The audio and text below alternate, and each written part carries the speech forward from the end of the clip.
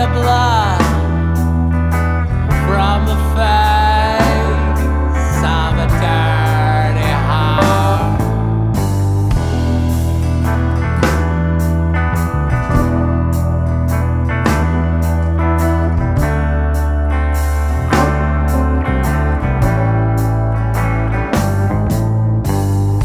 Let's buckle to a sucker's crawl